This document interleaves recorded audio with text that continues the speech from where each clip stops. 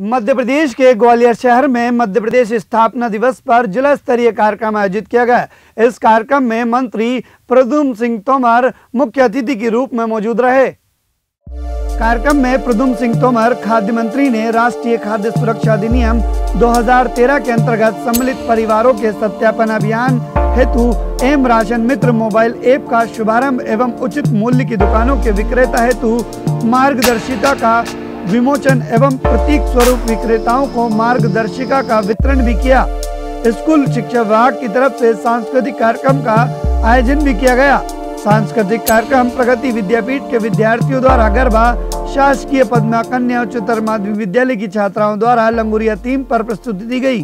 Carmel convent school की छात्राओं द्वारा बेटी बचाओ बेटी पढ़ाओ थीम पर आधारित सांस्कृतिक प्रस्तुति दी गई। राजा मान सिंह तोमर संगीत एवं कला विश्वविद्यालय ग्वालियर द्वारा सांस्कृतिक कार्यक्रमों की प्रस्तुति दी गई। आज मध्य प्रदेश में एम राशन मित्र ऐप हमने जारी किया है। हमारी सरकार, प्रदेश के माननीय मुख्यमंत्री कमलनाथ जी, माननीय श्रीमन ज्योतिराज सिंधिया जी, कांग्रेस के वरिष्ठ नेता, ये चाहते हैं कि 2013 में जो खाद्य सुरक्षा अधिनियम लागू किया गया था, वो खाद्य सुरक्षा अधिनियम का सही लोगों को लाभ मिले।